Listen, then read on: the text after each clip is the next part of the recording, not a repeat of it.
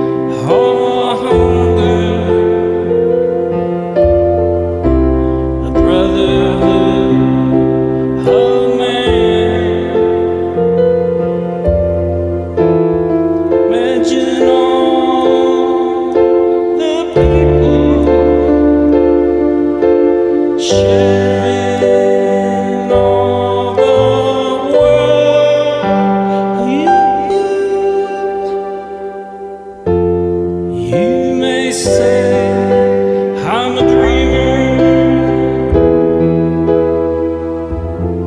but I'm